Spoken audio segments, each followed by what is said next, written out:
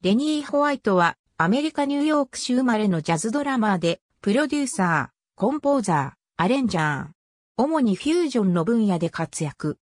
地元のバンドでドラムを演奏し始め、1960年代後半より、ジャッキー・マクリーンと共演する。1969年、マイルス・デイビスのアルバム、ビッチェズ・ブデューに19歳で参加した。1973年にチックコリアのリターントゥフォーエバーに加わるが、1976年にグループが分裂すると、アトランティックレコードを経て、ネンペラーレーベルと契約し、2枚のリーダー作を出す。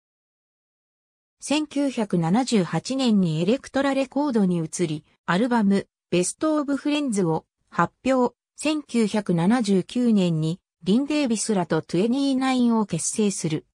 1987年に生まれ育ったマチクイーンズの仲間、マーカス・ミラーやバーナード・ライトらとジャマイカ・ボーイズを結成。同名のアルバム、ジャマイカ・ボーイズを発表した。1989年にジャマイカ・ボーイズの第2作、J ボーイズを発表するが、以後の活動はない。多くのミュージシャンとセッションし、フレディ・ハバードやジョー・ヘンダーソン、ウディ・ショー、ガトー・バルビエリ、キル・エヴァンス、スタンリー・クラーク、スタン・ゲッツ等と共演している。また、日本人では、ジュリ・エイコのバックも務め、シングルが発売された。ありがとうございます。